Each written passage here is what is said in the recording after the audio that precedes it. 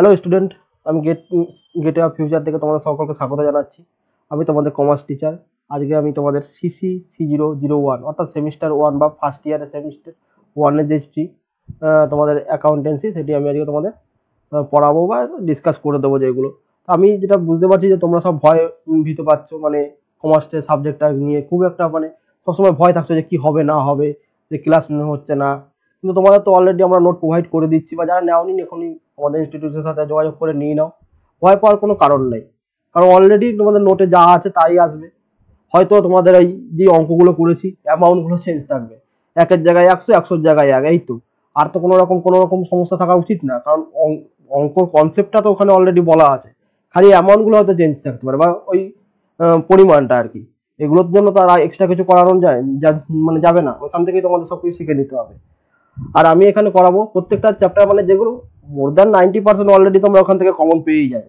এবার যেগুলো তোমাদের সমস্যা হচ্ছে বা যে জায়গাগুলো মনে হচ্ছে যে বলা উচিত, আমি সেগুলো তোমাদের অলরেডি এখানে বলে দেবো বা বুঝিয়ে দেবো। সেগুলো দেখলেই হয়ে যাবে। এটা আমার ফার্স্ট ক্লাস এরপরে আরও নেক্সট ভিডিওতে বা নেক্সট ক্লাস তোমরা ফলো করতে থাকো মানে ভিডিও তুমি পেয়েই যাবে অলরেডি তাই কোনো রকম ভয় না পেয়ে, কোনো সমস্যা হবে না। আমরা অলরেডি গ্যারান্টি তোমাদের দিয়ে দিয়েছি। তাও যদি কোনো সমস্যা হয় তুমি ডাইরেক্টলি আমাদের ইনস্টিটিউটের সাথে যোগাযোগ করতে পারো। কোনো সমস্যা হবে না। নাইনটি পার্সেন্ট ওই নোট থেকেই কমন আসবে এবং ওর চেয়েও বেশি। আমি বারবার বলছি গ্যারান্টি দিয়ে তোমাদের সাথে বলছি বারবার যে কোনো রকম সমস্যা ওখানে হবে না। অলরেডি আগের ছাত্ররাও তো মানে পাস করেছে হাই ফাই মার্কস পেয়ে তোমাদের কেন সমস্যা হবে? তাই কোনো রকম ভয় ভীতি না পেয়ে ডাইরেক্ট তোমরা আজকে আমি যে চ্যাপ্টারটাগুলো বলছি মানে শুধুমাত্র আমি ডিসকাস করে দিচ্ছি যে কী কীভাবে পড়বে বা কীভাবে পড়লে তোমার ম্যাক্সিমাম নাম্বার পাবে বা কোন জায়গাগুলো ইম্পর্টেন্ট ওখানেও নোটে আছে। নোটে তো যতটা মানে ইম্পর্টেন্ট গুলোই আমি দিয়েছি। বাড়তি এক্সট্রা কিচ্ছু দিইনি। যেগুলো তোমাদের ইম্পর্টেন্ট মনে হয়েছে বা যেগুলো তোমাদের আসে সেগুলো আমি বেছে বেছে সুন্দর করে দিয়েছি। এবং তার সাথে যে কনসেপ্টগুলো ক্লিয়ার করা দরকার, যেমন কোন ম্যাথ অঙ্কটার সাথে কোনটা রিলেটেড একটা অঙ্ক করলে দেখা গেল তিন রকম পদ্ধতি মানে করা হয়ে গেল। সেই টাইপের একটা অঙ্ক দিতে তিনটে অঙ্কই তোমার ওখান থেকে কভার হয়ে যায়। তাই তো? তাই কোনো রকম সমস্যা আশা করছি হবে না। দেখো, আমি যে একটু তোমাদের সিলেবাসটা বা এগুলো নিয়ে একটু আলোচনা করে দিই। কোনো অসুবিধা আশা করছি তোমাদের হবে না। আমি আজকে পড়াবো CC C zero zero one বা কোর কোর পেপার যেটা তোমাদের আর কি অ্যাকাউন্টেন্সি তো এখানে তোমরা প্রথম পড়বে যে অ্যাকাউন্টেন্সি জিনিসটা কি আর কি। তো অ্যাকাউন্টেন্সি জিনিসটা আমরা ভালোভাবেই জানি, তিনটে ব্রড কনসেপ্ট নিয়ে তো মানে এর আন্ডার অ্যাকাউন্টেন্সি যে সাবজেক্টটা আছে, এর এর তিনটে এলিমেন্ট বা যেটা আমরা বাংলায় বলি উপাদান, তিনটে উপাদান নিয়ে গঠিত। ফার্স্ট হচ্ছে বুক কিপিং যদি অ্যাকাউন্টেন্সিটাকে আমরা হেডিং করি এস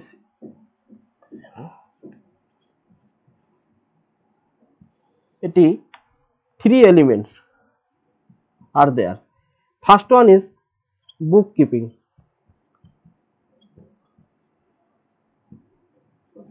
second হচ্ছে তোমাদের অ্যাকাউন্টিং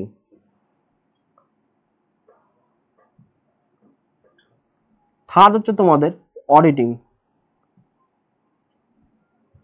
বুক কিপিং জিনিসটা কি? বুক কিপিং হচ্ছে জিনিসটা তোমাদের একটা ক্লারিক্যাল জব মানে কি টাইপের যে কোনো রকম ট্রানজাকশন যখন প্রতিষ্ঠানে ঘটে ট্রানজাকশন মানে বোঝো, লেনদেন যেটা বাংলায় বলছি। লেনদেন যখন ঘটে, সঙ্গে সঙ্গে বুক কিপার কি করে? তার বইতে তার বইতে বলতে প্রতিষ্ঠানের যেই বইটা আছে, সেখানে রেকর্ড করে নেয়। কীরকম? যে যে কোনো যদি বলো যে কোনো কিছু কি রেকর্ড করবে? যে কোনো কিছু না, যেগুলো মানিটারি টার্মে মেজার করা যায়। মানে অর্থের পরিমাপযোগ্য যেগুলো, অর্থের মাপকাঠি যেগুলো পরিমাপযোগ্য, সেগুলোই বুক কিপিং বা বুক কিপার রেকর্ড করবে। মানে একটা প্রাইমারি একটা কাজ। মানে ফার্স্ট কিছু ঘটলো, সঙ্গে সঙ্গে এগিয়ে রেকর্ড করল। ঠিক আছে? এর রেকর্ড করা যেখানে শেষ, সেখান থেকে অ্যাকাউন্টিং এর কাজ শুরু। কীরকম? এ রেকর্ড করল রেকর্ড করার পর এর কাছে পাঠালো। এ এর চেয়ে অবশ্যই এক্সপিরিয়েন্স লোক হবে। তাই না? এ কি করল? অ্যাকচুয়ালি এটা ডাটা হয়ে ইনফরমেশন দেবে আর কি এটাকে সামারাইজ করবে। সামারাইজ করে মানে একটা ইনফরমেশনের যোগ্য তৈরি করবে, যাতে মানে উপরে যখন বা ম্যানেজমেন্ট বা তোমার তার উপরে যারা আছে আর কি, তাদেরকে যখন দেবে যেন এক চান্সে বুঝে যায়। মানে এমন ভাবে ইনফরমেশনটা সে তৈরি করে দেবে। এর কাজ হলো, তাহলে কি? বুক কিপারের কাজ হলো ফার্স্ট রেকর্ড করল, এই রেকর্ড গুলোকে সামারাইজ করল। কি করল? সামারাইজ করে আর কি ডিটারমাইন করল? নেট প্রফিট ব্যালেন্স শিট কত কি আছে অ্যাসেট কি লাইবিলিটি কি আমার কোম্পানির কোম্পানি কি পজিশনে আছে, সবকিছু দিল। এবার এদের দুজনকে চেক করবে অডিটিং অডিটিং কি করে? পরীক্ষা নিরীক্ষা মানে হিসাব পরীক্ষা নিরীক্ষা করবে অডিটিং এই তিনটের এলিমেন্টস নিয়ে কিন্তু আমাদের অ্যাকাউন্টেন্সি কনসেপ্টটা তৈরি হয়েছে, ঠিক আছে? এবার এর মধ্যে যদি দেখি যে এদের দুজনের মধ্যে পার্থক্য কি? বুক কিপিং আর অ্যাকাউন্টিং আরামসে বলে দিতে পারবে বুক কিপিং ভার্সেস যদি অ্যাকাউন্টিং বলি। যে বুক কিপিং হচ্ছে ক্লারিক্যাল জব এর জন্য অতটা এক্সপিরিয়েন্স দরকার নেই। কিন্তু অবশ্যই অ্যাকাউন্টিং এর জন্য একটু এক্সপিরিয়েন্স লোক দরকার আছে। কারণ বুক কিপিং যে কেউ করতে পারে, যে কেউ বলতে মোটামুটি যারা একটু জানে। আর অ্যাকাউন্টিং করতে গেলে অবশ্যই তার অ্যাকাউন্টেন্সি প্রিন্সিপালগুলো চাই, কীভাবে রেকর্ড করবে, তার সিস্টেমগুলো জানা চাই, তাই না? এরকম ভাবে হয়ে গেল এই দুটো জিনিস কভার এরপরে আসছি তোমাদের।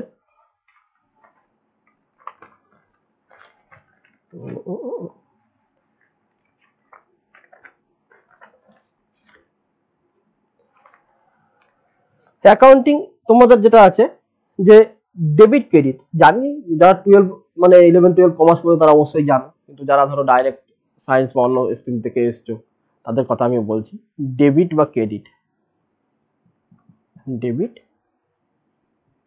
ক্রেডিট যেটাকে আমরা অ্যাকচুয়াল লিখি ডিআর আর ক্রেডিটকে আমরা লিখি সিআর এই জন্য একটু বুঝে যাবে কারণ অ্যাকাউন্টেন্সিতে এই দুটো টার্ম খুব ইম্পর্টেন্ট এবং মোস্ট এটা যদি তুমি ডিটারমাইন করতে শিখে যাও more than seventy percent already cover তাই না? ডেবিট ক্রেডিট জিনিসটা কি? ট্রানজাকশনকে আমরা কি বলছি? বাংলায় লেন আর দেন। মানে প্রতিটা ট্রানজাকশনের দুটো পার্ট থাকবেই। মানে আমি কাউকে টাকা দিলাম এবং জিনিস নিলাম। তার মানে কি? আমি তার কাছে টাকা দিলাম, তার ফাইন্যান্সিয়াল পজিশন চেঞ্জ হলো। আর আমি দিলাম মানে কি? আমার কাছ থেকে মাইনাস হলো টাকাটা, আমারও ফাইন্যান্সিয়াল পজিশন চেঞ্জ হলো। তাহলে যেই সমস্ত মানে জিনিসগুলোকে ফাইন্যান্সিয়াল পজিশনটাকে চেঞ্জ করবে দুজনারই, সেটাকে মনে হচ্ছে লেনদেন। তাহলে ডেবিট মানে অ্যাকচুয়ালি বলছি লেন আর এটাকে বাংলায় বলি দেন। কিন্তু সেটা সম্পর্ক কিছু না, সম্পর্ক আসবে, এরপর পরে বলছি। তাহলে প্রতিটা ট্রানজাকশনের কিন্তু দুটো দিক। আমরা সবসময় কি করি, এমনি জেনারেল ভাবে কি করি, যে কোনো ট্রানজাকশনকে একটা দিকে রেকর্ড করি। কিন্তু আমাদের অ্যাকাউন্টেন্সির নিয়ম অনুযায়ী প্রতিটা ট্রানজাকশনে দুটো দিক, সেটা আমাদের মানে মেন আর কি অ্যাকাউন্টেন্সি দুটো দিকই ভাবতে হবে বা দুটো দিকই রেকর্ড করতে হবে। এবার ডেবিট ক্রেডিট কি করে বুঝব? কোনটা ডেবিট হবে স্যার কোনটা ক্রেডিট হবে? এর জন্য যত রকম অ্যাকাউন্টস হয় অ্যাকাউন্টস মানে ফেসবুক ইনস্টাগ্রামের কথা আমি বলছি না কিন্তু, বা ব্যাংক অ্যাকাউন্ট ব্যাংক অ্যাকাউন্ট হতে পারে ফেসবুক ইনস্টাগ্রাম বলছি না। যেমন পারচেস অ্যাকাউন্ট সেলস অ্যাকাউন্ট বা আর কি আছে ক্যাশ অ্যাকাউন্ট আরও যত সব আছে মেশিনারি মানে যত রকম কিছু যাই হোক সবকিছু যেই অ্যাকাউন্টস গুলোকে বলছি মানে বাংলা হিসাব খাত আর কি প্রত্যেক জনের যেমন যদি একটা মুদিখানা দোকানে অনেক লোকে ধার নিতে যায় মানে ধারে জিনিস কেনে মাস কাবারি বাজার তোলে, এবং মাসের শেষে দিয়ে দেয়। তাহলে মুদিখানা দোকানদার কি করে? ছোট ছোট করে এক একজন সবার নামে একটা একটা করে খাতা থাকে। থাকে। এবার সেই খাতাতে তার হিসাবগুলো সে লিখে রাখে। মানে রাম গেল, রামের হিসাব একটা আলাদা খাতা আছে, শ্যামের হিসাব একটা আলাদা খাতা আছে। এই প্রত্যেকটা যে খাতাকে বা খাতকেই বলছি আমরা কিন্তু এই অ্যাকাউন্টসেতে অ্যাকাউন্টস অন্য কিছু না। যে অ্যাকাউন্ট মানে অনলি ব্যাংক অ্যাকাউন্টস তা না। ঠিক আছে? এবার এই অ্যাকাউন্টস গুলোকে, এত অ্যাকাউন্টস হাজার লাখ কত অ্যাকাউন্টস আছে ঠিক নেই। এগুলোকে আমরা একটা জায়গায় মানে ক্লাসিফাই করার জন্য তিনটে জিনিস করেছি অ্যাজ পার গোল্ডেন রুল এইটা হচ্ছে মেন যেটা আমেরিকান ইনস্টিটিউট তৈরি করেছে গোল্ডেন রুল এটা খুব ভাইটাল এবং ইম্পর্টেন্ট কি করল? মানে ডেবিট ক্রেডিটের রুলসটা কীভাবে এই অ্যাকাউন্টসে ফলো হবে? সেই জন্য একটা রুলস নিয়ে আলো যেটা বলছে গোল্ডেন রুল এখানে যত রকম অ্যাকাউন্টস আছে, প্রত্যেকটা অ্যাকাউন্টসকে মানে এই পৃথিবীতে যত রকম আমরা মানে অ্যাকাউন্টস অ্যাকাউন্টসগুলো পাচ্ছি বা হিসাব কাজ তিনটেতে ভাগ করে দিয়েছে। ফার্স্ট বলছে? পার্সোনাল অ্যাকাউন্ট আসছি কাউন্টটা কি? পার্সোনাল অ্যাকাউন্ট সেকেন্ড বলছে রিয়েল অ্যাকাউন্ট থার্ড বলছি নমিনাল অ্যাকাউন্ট বোঝা গেল? পার্সোনাল রিয়েল নমিনাল তাহলে পার্সোনাল জিনিসটা কি? পার্সোনাল বলছে যেগুলো নামিক। নামিক মানে নাম দিয়ে আর কি। যেমন রাম, শ্যাম, যদু, মধু, কোনো কোম্পানি এক্স ওয়াই জেড কোনো firm A B C D limited যাই হোক, সেগুলো পার্সোনালের মধ্যে আসছে। রিয়েল রিয়েল বলছে, শুধুমাত্র সম্পত্তিবাচক জিনিসটা। রিয়েল মানে যে সম্পত্তি। সম্পত্তি মানে ব্যাংক অ্যাকাউন্ট এটা একটা কিন্তু সম্পত্তি। ক্যাশ ফার্নিচার অ্যাসেটস যা যত রকম সম্পত্তি আছে, এ সব রকম এই রিয়েল অ্যাকাউন্ট ডিল করে। এই দুটো বাদে যেগুলো বাড়তি পড়ে আছে, যত রকম অবশিষ্ট অ্যাকাউন্ট থাকল আর কি পার্সোনাল আর মানে সম্পত্তি আর নাম ছাড়া যেগুলো মানে নাম বলতে মানে নিজস্ব যেগুলো ইন্ডিভিজুয়াল হতে পারে ফার্ম হতে পারে কোম্পানি হতে পারে, সেগুলো ছাড়া যা আছে, তার মধ্যে বলছে নমিনাল এবার পার্সোনাল অ্যাকাউন্ট কি মানে কখন ডেবিট করব, কখন ক্রেডিট করব? তার জন্য গোল্ডেন রুল প্রতিটা অ্যাকাউন্টকে বলো কে কখন ডেবিট হবে, আর কে কখন ক্রেডিট হবে, তার জন্য যে জিনিসটা তৈরি করছে প্রত্যেকটার জন্য বলে দিচ্ছি। সেটা হচ্ছে, যখন কেউ মানে ধরো আমি এক্স ওয়াই কে টাকা দিচ্ছে এক্স ওয়াই কে টাকা দিচ্ছে। তাহলে ওয়াই কি হচ্ছে? টাকা পাচ্ছে তো। যে রিসিভ করছে বা টাকা পাচ্ছে, তখন সেটাকে বলছি ডেবিট করতে। আর একবার বলছি যে ডেবিট ডিআর দিয়েই সবসময় প্রকাশ করা হয় ডেবিটকে ডেবিট দা রিসিভার যাই হোক, যাচ্ছে না। Receiver debit the receiver similarly উল্টোটা করব। Credit the giver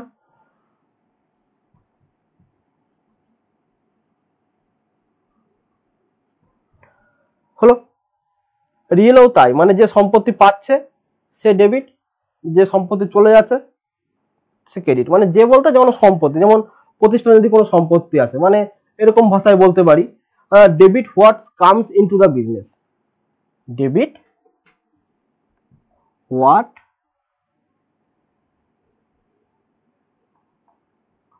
comes into the business তাহলে উল্টো কি করব? Credit what goes out credit what goes out হলো থার্ড আসছে আমরা নমিনালে নমিনাল এদের থেকে সবসময় উল্টো। প্রথম থেকেই বলছি যে এদের তো কোনো পার্থক্য নেই। এ বলছে এটা যেমন বলছি যে বেনিফিট রিসিভ করছে। মানে এটাও তাই যে রিসিভ করছে সম্পত্তি ডেবিট হচ্ছে। যে বেনিফিট দিচ্ছে বা উল্টোতে হচ্ছে, এটাও তাই, সম্পত্তি যখন চলে যাচ্ছে। কিন্তু এ বলছে, যখন খরচা হচ্ছে বা লস হচ্ছে, তখন ডেবিট করো। আবার বলি, এদিকটা সরিয়ে আনলে ভালো হবে, একটু দেখে নি।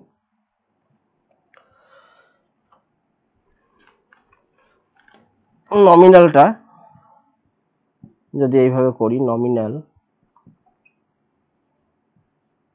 বলছে ডেবিট করো তাকেই, বা মানে সেই সময় যখন খরচা হচ্ছে এক্সপেন্সেস বা লস হচ্ছে।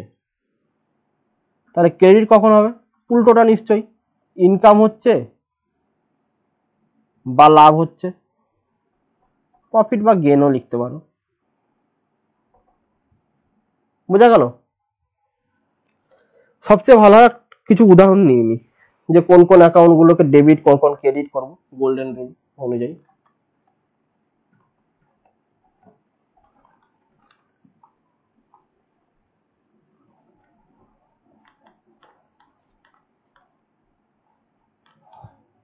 গোল্ডেন রুল অনুযায়ী কোন কোন। একটা যেমন ট্রানজাকশন নিয়ে নি, Ram purchased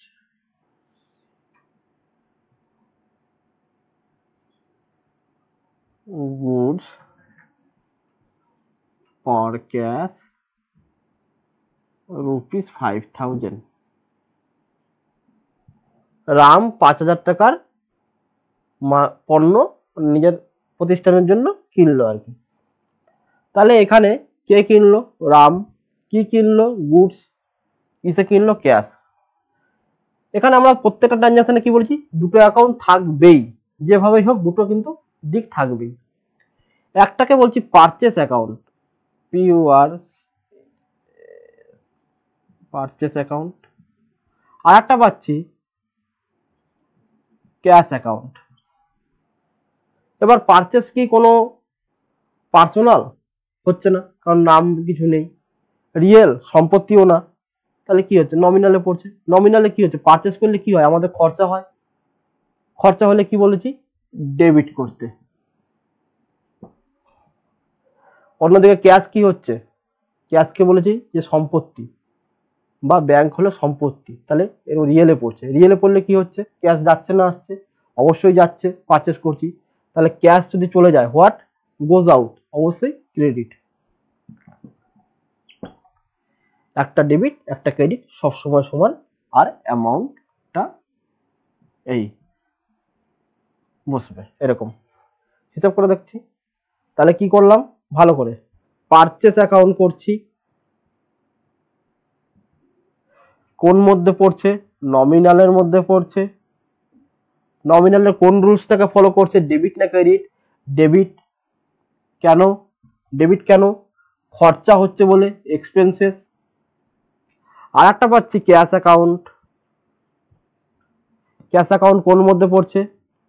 ওই তিনটের মধ্যে গোল্ডেন রুলে রিয়েল ক্রেডিট করছি। কেন করছি? কারণ এটাও ক্যাশ চলে যাচ্ছে গোজ আউট হলো? এই জিনিসটাকেই আমরা জার্নাল বলছি। মানে এটা যেমন এই যে ডেবিট ক্রেডিট না লিখে এইভাবে লেখার সিস্টেমটা জাস্ট একটু চেঞ্জ করলেই জার্নাল হয়ে গেল, আর কিছুই না। এই একবারে করে দেওয়াটাকে বলছে জার্নাল যেমন এই যে এই যে সেম করব আর পারচেস অ্যাকাউন্ট ডেবিট এই টু দেওয়া মানে ক্রেডিট হয়েছে টু দিয়ে দিলাম টু দিয়ে হলে আর কিছু দিতে হবে না। ক্রেডিট আলাদা করে লিখতে হবে না। আগেটা যখন ক্রেডিট লিখছিলাম, এই ক্রেডিট আলাদা করে লিখতে হবে না বাস এই পাঁচ হাজার, এই পাঁচ হাজার। এই হচ্ছে ডেবিট ক্রেডিট বিশ্লেষণ করে জার্নাল করা। এটাই গোল্ডেন রুল এই গোল্ডেন রুল অনুযায়ী আমাদের ডেবিট ক্রেডিট মানে বিচার করতে হয়, কোনটা ডেবিট কোনটা ক্রেডিট তারপর আমরা জার্নালে পোস্টিং করে দেবো। আর কিছুই নেই। এগুলোই আমি মানে বেশিরভাগ প্র্যাকটিস করলে এগুলো হয়ে যাবে। এবার জার্নাল থেকে পোস্টিং করব লেজারে লেজার মানে? লেজার মানে যে প্রতিটা যে অ্যাকাউন্ট করছি, প্রতিটার জন্য আলাদা করে অ্যাকাউন্ট করতে হয়। এই যে আমি যদি একটা রাফ ভাবে করে নিই, তোমাদের ওখানে সুন্দরভাবে করে দেখি নোটে আমি। এই রাফ ভাবে একটা করে নিলাম। Debit sorry credit debit debit credit এরকম করে। এই একটা অ্যামাউন্ট এটা যদি পারচেস অ্যাকাউন্ট আমি ধরি, তাহলে কি পারচেস অ্যাকাউন্ট যেমন ডেবিট আছে, তাহলে ডেবিটের ঘর কোনটা? এটা ডেবিটের ঘরে লিখব টু ক্যাশ কত টাকা আছে? পাঁচ হাজার। পারচেসের ঘরে কিন্তু কখনো পারচেস লিখব না, ঠিক উল্টোটা। তাহলে এখানে আর একটা অ্যাকাউন্ট হবে কি? ক্যাশ অ্যাকাউন্ট যদি হয় ক্যাশ অ্যাকাউন্টে ক্যাশ অ্যাকাউন্টটা কি আছে? ক্রেডিট আছে। ক্রেডিট আছে তো? তাহলে ক্রেডিটের দিকে এইটা ক্রেডিট সাইড লিখব বাই পারচেস বাই পারচেস পাঁচ হাজার।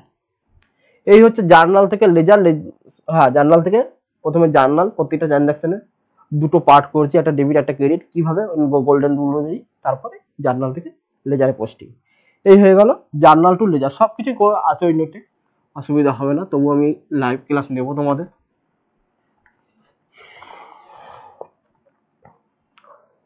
এবার যদি একটু থিওরিটিক্যাল আলোচনা করি, যে অ্যাকাউন্টিং ইনফরমেশন কি? বা অ্যাকাউন্টিং ইনফরমেশন কাজের দরকার হয়। ওই যে অ্যাকাউন্টিং ইনফরমেশন কাজের দরকার হবে। আমি যদি বলি তোমারই কখন দরকার হবে অ্যাকাউন্টিং ইনফরমেশনের যদি তুমি এখন কোনো একটা কোম্পানিতে ইনভেস্ট করতে যাও। কেন? কারণ তুমি দেখবে না যে ওই কোম্পানির কত প্রফিট হচ্ছে, ঠিকঠাক প্রফিট আর্ন করতে পারছে কিনা এবং প্রিভিয়াস ইয়ারের প্রফিট যেগুলো আছে তার চেয়ে ম্যাক্স মানে আরও বেশি বেশি উন্নতির দিকে যাচ্ছে কিনা বা ডিক্লাইনের দিকে যাচ্ছে কিনা। তখন তোমারও দরকার হচ্ছে অ্যাকাউন্টিং ইনফরমেশনের হচ্ছে না? এবার আর কার কার লাগবে? ট্যাক্স ডিপার্টমেন্টের লাগবে। কারণ তাদের দেখতে হবে যে ট্যাক্স ফাঁকি দিচ্ছে কিনা। আর কার লাগবে? ব্যাংক যদি কেউ কোম্পানির কাছে লোন মানে কোম্পানি যদি কারও কাছে লোন আবেদন করে, সে দেখবে না তোমার ব্যালেন্স শিটগুলো দেখাও। তার দরকার হতে পারে। তাহলে এগুলোর আর আলাদা করে কি পড়বে? তাই থিওরিতে এমনি তো মুখে মুখে আলোচনা হয়ে যায়। এরপর বলছি বেসিস অফ অ্যাকাউন্টিং বেস মানে কি কি? উপর ভিত্তি করে অ্যাকাউন্টিং রুল সৃষ্টি হয়েছে। একটা হচ্ছে তোমার ক্যাশ বেসিস মানে যখনই এই নগদে কিনছি টাকা দিয়ে দিচ্ছি ক্যাশের বেসিস হয়ে গেল আর হচ্ছে অ্যাক্চুয়াল বেসিস এটা একটু ডিফিকাল্ট কীরকম? দেখা গেল যে এই বছরে আমি প্রতি বছরই আমার থার্টি ফার্স্ট মার্চ বা থার্টি ফার্স্ট ডিসেম্বর আমার বই বা অ্যাকাউন্টস ক্লোজ করে দিই। দেখা গেল। এবার সেই বছরে কিছু ইনকাম বাকি থেকে গেল। ইনকাম মানে কিছু কারও কাছ থেকে টাকা পাই, কিন্তু দেয়নি, বা কিছু ইন্টারেস্ট যেগুলো, এখনও ক্রেডিট হয়নি আমার অ্যাকাউন্টে গিয়ে। বলছে সেইগুলোকে ধরলে হবে না। তাহলে কোনগুলোকে ধরবো? বলছে যদি কোনো খরচা তুমি দেওয়া মানে দিতে হবে, তুমি দেওনি, সেইগুলোকে ধরো। এটাকে বলছে অ্যাক্রুল বেসিস অ্যাকাউন্ট এবার আসছি কনসেপ্ট অ্যান্ড কনভেনশন এগুলো একটু আলোচনা করিনি তারপর আবার ট্রাই ব্যালেন্সটা আমি দেখিয়ে দেবো কীভাবে তোমরা পোস্টিং করবে। অলরেডি দেখিয়েছি, পরে তোমরা ওই ট্রাই ব্যালেন্সের চ্যাপ্টার আলাদা করে আছে। এবার হচ্ছে কনসেপ্ট অ্যান্ড কনভেনশন মানে একটা হচ্ছে ধারণা আর একটা হচ্ছে প্রথা। জিনিসটা দুটো শুনতে এক হলেও এদের মধ্যে পার্থক্য প্রচুর। মানে শুনতেই এক। কনসেপ্ট আর ধারণা কি? মানে আমার কারও সম্বন্ধে ধারণা কি? ধারণা হলেই তো সেটা সত্যি, সেটা তো হবে না। ধারণা জিনিসটা হচ্ছে আলাদা। মানে অ্যাকাউন্টসের ক্ষেত্রে আলাদা। অ্যাকাউন্টস কি বলছে? হিসাব রক্ষণের ধারণা বলতে এমন কিছু যুক্তিভিত্তিক। মানে ধারণা করলেই হবে না, তার যুক্তি থাকতে হবে। যুক্তিভিত্তিক অনুমানকে বোঝায়, যেগুলি হিসাব রক্ষণের কাজের সীমা নির্দেশ করে এবং এর উদ্দেশ্য পূরণে সহায়ক করে। অপরদিকে কি বলছে প্রথা কি বলছে? হিসাব রক্ষণের প্রথা হচ্ছে, হিসাব রক্ষণের উদ্দেশ্যে প্রচলিত কিছু পদ্ধতি। এবার দুজনকে আমি ভালো করে বিশ্লেষণ করে দেখি যে কে, কোনটা কে। মানে এদের মধ্যে যেমন পার্থক্য আছে, তেমনি তেমনি মিল তো পাবেই না। পার্থক্য যদি বলি এনটিটি কনসেপ্ট কনসেপ্ট বলছি কিন্তু মানে ধারণা। ধারণা কি? যুক্তিভিত্তিক ধারণা কিন্তু, শুধু ধারণা বারবার বললেন, যুক্তিভিত্তিক কথাটা কিন্তু না লিখলে এক্সামে কিন্তু নাম্বার পাবে না। যে এটা একটা ধারণা, শুধুমাত্র এই ধারণার উপর ভিত্তি করে, ধারণার উপর ভিত্তি করে, যুক্তিভিত্তিক ধারণা হতে অবশ্যই যুক্তি থাকতে হবে তার জন্য। এনটিটি কনসেপ্ট এনটিটি কনসেপ্ট কি বলছে? সত্তা ধারণা। এ বলছে যে একটা কোম্পানি তুমি মানে কি ই করেছ, তৈরি করেছ, তাহলে তুমি আর তোমার কোম্পানি কিন্তু এক না। কোম্পানি নিজের মালিক নিজে, কৃত্রিম ব্যক্তি। কোম্পানি নিজের মালিক নিজে কোম্পানি নিজেকে একটা কৃত্রিম ব্যক্তি বলা হচ্ছে এবং তুমি অবশ্যই তার থেকে আলাদা। আরও কি আছে? কস্ট কনসেপ্ট তারপর ডুয়েল অ্যাসপেক্ট ডুয়েল অ্যাসপেক্ট মানে দত্ত ধারণা মানে দুটো যেটা আগেই বলেছি। আর একটা আছে কনজারভেটিজম বা যেগুলো তোমাকে বলছি, প্রথা প্রথা কি? কনসিস্টেন্সি মানে অ্যাকাউন্টটাকে কনসিস্টেন্সি মানে এই বছরে এমন একটা সিস্টেমে অ্যাকাউন্ট করলাম যে মানে প্রফিট ডিটারমেন্ট করলাম পরে বছর সেটা আলাদা করে দিলাম। তাহলে কি হবে? তাহলে দু বছরের সাথে পার্থক্য তো করা যাবে না। তাই না? অনেকে স্টক ভ্যালুয়েশন করে। দেখা গেল যে ডেপ্রিসিয়েশন যদি বলি ডেপ্রিসিয়েশন পরে জানবে যে এই বছর একটা মেথড ফলো করছি, পরের বছর একটা অন্য মেথড ফলো ফলো করছি। তাহলে কি? দুজনের মধ্যে হিউ মানে যখন কম্পেয়ার করব, তখন তো কম্পেয়ার করাটা বেস তো ইকুয়াল হতে হবে, সেই বেসটাই তো তুমি পাবে না। তারপর আছে ডিসক্লোজার মানে বলতে চাইছে যে এই এগুলো সব তোমার ইসে প্রথার মধ্যেই? যে সবকিছু তোমাকে মানে স্বচ্ছতা রাখতে হবে ডিসক্লোজ করতে হবে ঠিক টাইম টাইম কনজারভেটিজম বলছে রক্ষণশীলতার প্রথা। রক্ষণশীলতা মানে যে ওই যে ভবিষ্যতে কোনো তুমি ইনকামের আশা করো না, কিন্তু ভবিষ্যতে যদি লস হয়, সেটা এখন থেকেই তুমি কনসিডার করবে। এই হচ্ছে কনসেপ্ট আর বা ধারণা বা প্রথার মধ্যে পার্থক্য। বুঝা গেল?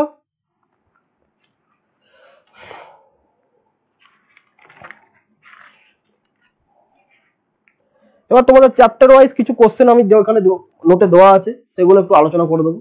আর এই মেন তোমাদের এখানে জার্নাল লেজার ট্রাই ব্যালেন্স নিয়ে তোমাদের করতে হবে। জার্নাল লেজার জার্নাল তো দেখালাম জার্নাল কি করে করবে? জার্নাল ম্যাক্সিমাম জার্নাল প্র্যাকটিস করতে করতে কোনটা ডেবিট কোনটা ক্রেডিট অলওয়েজ হয়ে যাবে। তারপর ওখান থেকে তোমরা লেজার করে নেবে লেজার থেকে আবার ট্রাই ব্যালেন্স ট্রাই লেজার থেকে যদি ট্রাই ব্যালেন্স করি, দেখো দেখো, আমি এখান থেকে তিনটে উদাহরণ নিয়ে নিই, সবচেয়ে বেস্ট হবে।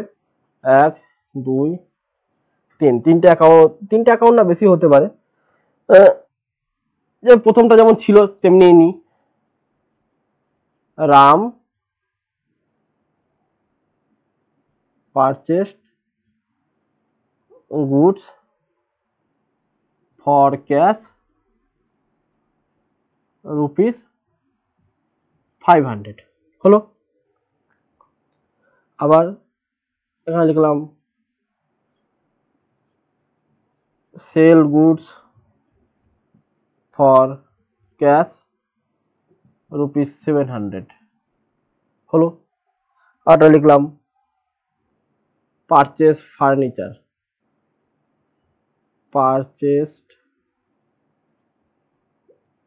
furniture, rupees two thousand এবার জার্নাল করার জন্য ছক কিন্তু একটা মানে পুরোপুরি আলাদা মানে এই ফট করে যে করলে হবে না। আমি দেখাচ্ছি একটা রাফ ভাবে করে দেখছি। এই যে দুটো অ্যামাউন্ট থাকবে। একটা থাকবে তোমার এলএফ একটা থাকবে তোমার ডেটের ঘর, এখানে তোমার থাকবে ডেবিট এখানে ক্রেডিট এখানে ইন দি বুকস অফ অবশ্যই লিখতে হবে কার তুমি এন্ট্রি করছ। Books of dot dot dot নিচে লিখব জার্নাল এন্ট্রিজ জার্নাল এন্ট্রিজ এখানে কি বললাম? ডেট ডেট ম্যান্ডেটারি পার্টিকুলার্স এটা হচ্ছে লেজার ফোলিও নং বা এলএফ এটা হচ্ছে অ্যামাউন্ট এটাও তোমার অ্যামাউন্ট এই সেম কিন্তু, এই এই অনুযায়ী কিন্তু জার্নাল করতে হবে। রাম পারচেস একটা ডেট দিয়ে দিলাম, এক নাম্বার এখন আপাতত দিই, এক তারিখে যদি ধরি। তাহলে purchase account purchase account debit to cash কত কত? ফাইভ হান্ড্রেড ফাইভ হান্ড্রেড এখানে একটা লিখতে হবে ন্যারেশন বিং দিয়ে শুরু হবে B E I N G purchase goods purchase goods for cash for cash rupees না লিখলে হবে। এই এতক্ষণে একটা জার্নাল এইভাবে ক্লোজ হলো। আবার নেক্সট আবার নেক্সট এই করে করে করতে হবে। তো ওখানে জায়গা নেই, আমি একবারই করে দিচ্ছি, তোমরা এই কোশ্চেনগুলো একবার খালি টুকে নাও। মানে পজ করে দেখে নেবে একবার। আমি বলতো এই পাঁচটাই পাঁচটা করে নিই মুছে দিই, তার সুবিধা হবে তোমাদের হ্যাপাজার্ট হয়ে যাচ্ছে। একটা হলো। দু নম্বর হলো, ওটা কি করলাম? আচ্ছা দু নম্বর যদি করি, তারপর হবে সেল গুডস তাহলে সেল করলে ক্যাশ আসে debit, to sales, seven hundred seven hundred. এবার এখানে ন্যারেশন লিখবে being good sales for cash হয়ে গেল। আর একটা কি বললে? ফার্নিচার ফার্নিচার পারচেস কিন্তু পারচেস অ্যাকাউন্ট হবে না। ফার্নিচার হবে। কারণ ফার্নিচার তোমার অ্যাসেট আর অ্যাসেট সবসময় এলে ডেবিট হয়। রিয়েল অ্যাকাউন্ট অনুযায়ী। Furniture account debit to cash কত হলো? এটা আমি বলেছিলাম দু হাজার মনে হয়। হ্যাঁ। দু হাজার দু হাজার এবার এগুলোকেই আমরা পোস্টিং করব তোমার লেজারে এখানে আমি করে দিচ্ছি এগুলো কোশ্চেনটা মুছে নিই পারচেস অ্যাকাউন্ট একটা মোছা হয়ে গেছে এটা একটু দেখে নিই। তাহলে এখানে কটা লেজার লাগবে? একটা ছিল পারচেস অ্যাকাউন্ট আমি রাফভাবে টানছি লেজারেরও দেখানো আছে লেজার কি করে এই করতে হয়। মানে এটা পারচেস অ্যাকাউন্ট একটা আছে ক্যাশ অ্যাকাউন্ট একটা আছে সেলস অ্যাকাউন্ট, একটা আছে ফার্নিচার অ্যাকাউন্ট। প্রত্যেক জনের কিন্তু ডেবিট, ক্রেডিট মাস্ট মানে এই তোমার ছক বা ঘরটার উপরে কিন্তু নাম্বার থাকে, তাই কোনো রকম ভুল করো না। আমি এটা রাফ ভাবে করছি, তোমাদের ওখানে করা আছে। পারচেস অ্যাকাউন্টে ডেবিট সময় ডেবিট হয়েছিল টু ক্যাশ বলে, কত করেছিলাম বেশ? পাঁচশো টাকা, যাই হোক। সিমিলারলি পারচেস অ্যাকাউন্ট ডেবিট মানে কি? Purchase account debit to cash তাহলে বাই পারচেস এখানে বলেছিলাম আগে। বাই পারচেস পাঁচশো। শর্টকাটটা লিখছি আমি। আর কি আছে? Cash account debit to sales cash account debit তাহলে টু সেলস সবসময় বলেছি সেই নাম বসে না। যেটা তোমার সেই অ্যাকাউন্টে মানে সেলস অ্যাকাউন্ট ক্যাশ অ্যাকাউন্টে ক্যাশ টু ক্যাশ বলে কখনো হবে না, বা বাই ক্যাশ বললেও কখনো হবে না। সাতশো। আর একটা কি হলো? সেলসের ঘরে সেলসের ঘরে by cash by cash seven hundred আর একটা ফার্নিচার ফার্নিচারের ঘরে টু ক্যাশ টু ক্যাশ দু হাজার আর এখানে এক কাজ করো সেলসটা সেভেন থাউজেন্ড করে দাও। হুম। হ্যাঁ তাহলে বাই ফার্নিচার দু হাজার হলো?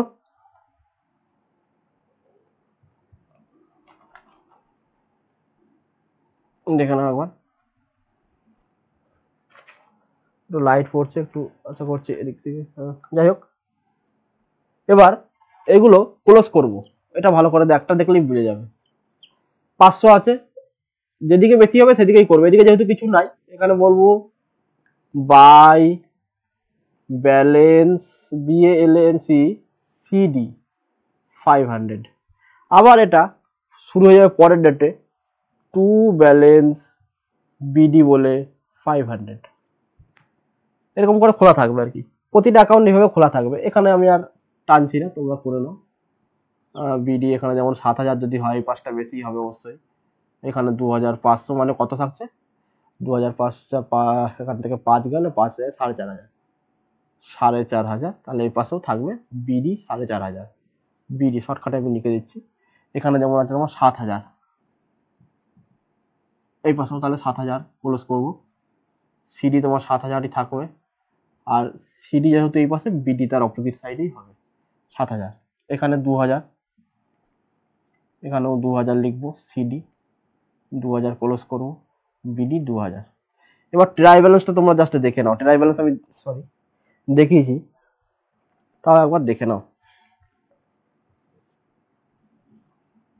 ডেবিট ক্রেডিট পার্টিকুলার্স যেমন থাকে। এই যে বিডি ব্যালেন্সগুলো আছে না, সেই বিডি ব্যালেন্সগুলো খালি নেবে। দেখো পার্চেস অ্যাকাউন্টে বিডি ব্যালেন্স ডেবিট কত আছে? পাঁচশো পাঁচশো। পার্চেস এখানে লিখুন পার্চেস অ্যাকাউন্ট পার্চেস অ্যাকাউন্ট এই। আবার এখানে ক্যাশের বিডি কত আছে?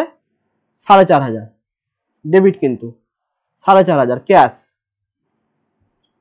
আবার এখানে তোমার সেলসের কত আছে? সাত হাজার। সেলস অ্যাকাউন্ট সাত হাজার। এখানে কত আছে?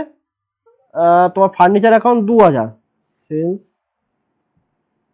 ফার্নিচার দু হাজার দেখো at the end of the year যেটা সাত হাজার হয়, চার আর দুই ছয়, এটাও সাত হাজার এই যে ট্রাই ব্যালেন্স মিলে যাবে। বোঝা গেল? একটু হেফাজত হয়েছে, কিন্তু কিছু করার নেই। তোমাদের ওই নোটসে ভালোভাবে দেওয়া আছে, অসুবিধা হবে না। এই গেল trial balance journal ledger trial balance একটা টোটাল অঙ্ক আশা করি আশা মানে থাকে। দেখে নেবে, ওখানে সব সুন্দরভাবে দেওয়া আছে। বিডিসিডি কি করে করবে মেলাবে, দেখে নেবে, অসুবিধা নেই। তোমরা বারবার যেটা ভয় খাচ্ছ, কোনো রকম ভয় খাওয়ার দরকার নেই। বারবার বলছি ক্লাস করিয়ে দেবো নো টেনশন আর আমি তো সেভাবে নোটটা তৈরি করা হয়েছে, যাতে কোনো রকম তোমার সমস্যা না হয়। কারণ ওখানে ninety percent more than ninety percent common পেয়ে যাবে অলরেডি এবং খুব সুন্দরভাবে লেখা আছে, সব অঙ্ক দিনই। শুধুমাত্র যেগুলো ইম্পর্টেন্ট বারবার বলছি। যেগুলো ইম্পর্টেন্ট সেগুলোই দেওয়া আছে এবং সেইগুলোই আসবে। কোনো রকম ভয় পেতে হবে না।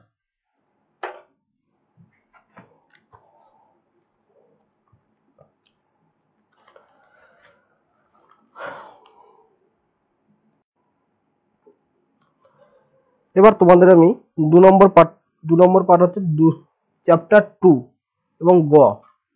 মানে দু নম্বর চ্যাপ্টার গ, ক, খ, গ, এতক্ষণ ক, খ বলছিলাম, আর আগে এক নম্বর এবার ক, খ গটা আমরা বলছি। মানে তিন নম্বর পার্ট যেটা আছে। সেটাকে বলছি ফার্স্ট এখান থেকে আমরা যেটা পড়ব ক্যাশ ডিসকাউন্ট এবং ট্রেড ডিসকাউন্টের মধ্যে পার্থক্য। What is cash discount what is trade discount মানে ব্যবসায়িক বারটা বলছি আর নগদ বারটা যাকে বলছি। তাহলে ব্যবসায়িক বারটা কি আর নগদ বারটা কি? যদি কোনো শপিং মলে যাও, দেখবে টেন পার্সেন্ট ছাড় টোয়েন্টি পার্সেন্ট ছাড়, লেখা থাকে, একটা ঝোলানো থাকে যে কোনো যে কোনো জায়গায়। তার মানে কি? ওইটাকে বলছি আমরা ব্যবসায়িক বারটা মানে যে কেউ ওইটা গিয়ে অ্যাভেল করতে পারে বা নিতে পারে। এই টাইপের যেগুলো হচ্ছে ব্যবসায়িক বারটা সেরকম যে কোনো দোকানে, যেমন হোলসেলার বা রিটেলার একটা মিনিমাম পার্সেন্টেজ অনেক সময় তার গ্রাহকদের ছেড়েই দেয়।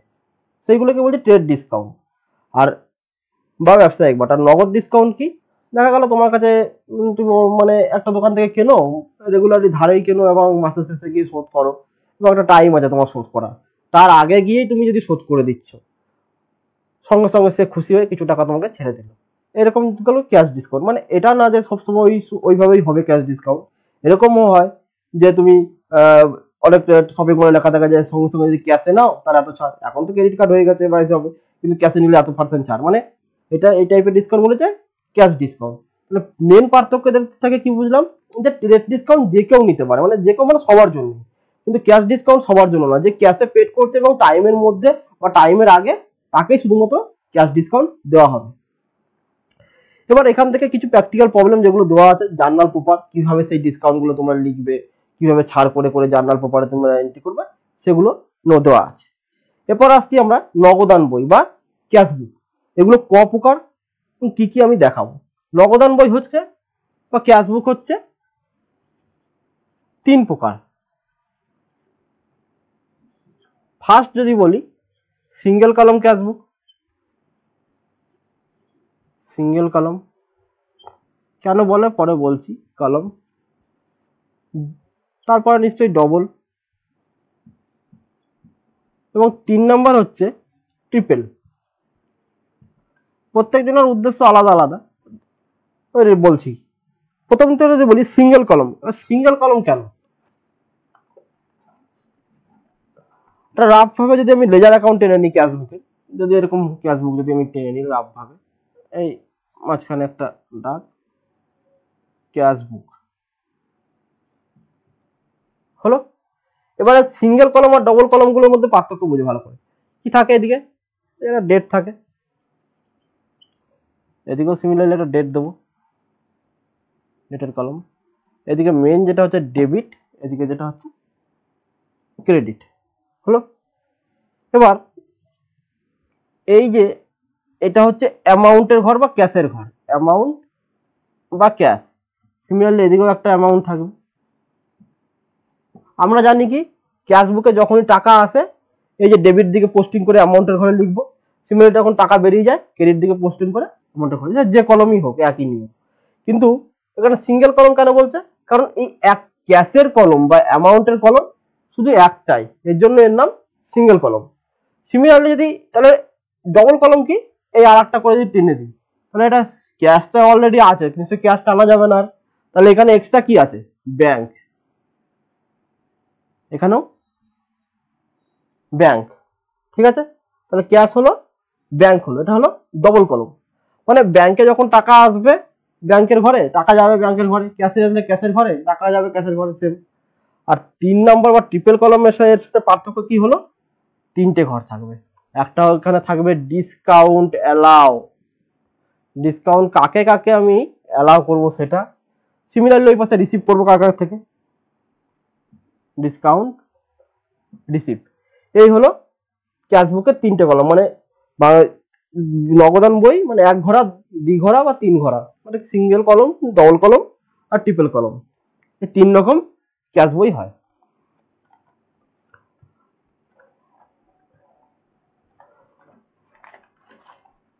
নেক্সট এখান থেকে যেটা শিখব বিআরএস ব্যাংক রিকনসিলেশন স্টেটমেন্ট বা ব্যাংক সমন্বয় বিবরণী।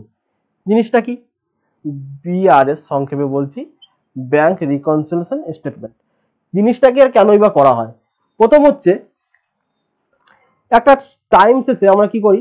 মানে ক্যাশ বুক থেকে টাকা ব্যাংকে পাঠায়। প্রতিটা কোম্পানি বা প্রতিটা ফার্মই তাই করে যে তার একটা টাইম লিমিট রাখে, নিয়ে যে মাসের শেষে কত কি হলো নিয়ে ব্যাংকে গিয়ে ডিপোজিট করে দেয়।